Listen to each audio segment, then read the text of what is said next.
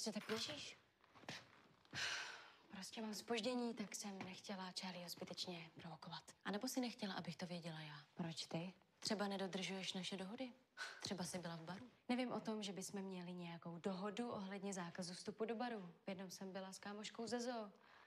A jestli máš na mysli konkrétně ten Markův bar, tak tam jsem rozhodně nebyla. A s jakou kámoškou? Čau, holky. Čau, co tady děláte? V našem bytě neteče teplá voda, tak jsme na pár dní tady, v hostinském pokoji. Jsi ráda, že se teďka budeme víc výdat? Jo, nic lepšího se mi nemohlo stát. Hm. Chudinko, ty musíš tak dlouho do noci makat. To je nepříjemný, že? Do toho ti nic není mařeno.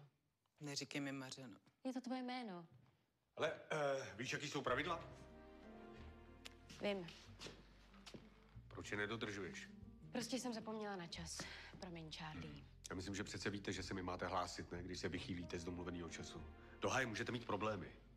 A já vám s tím můžu pomoct. Promiň, že jsem se spozdila, Charlie, ale nechci ty přednášky. Nejsem malá holka. Jdu spát. Já vím, že nejsi malá holka. Já s tebou mluvím jako se zaměstnancem, který podepsal smlouvu. A pokud jsi teda velká holka, tak bys měla vědět, že smlouvy se mají co? Mají se prostě dodržovat. Jasný? Dobrou.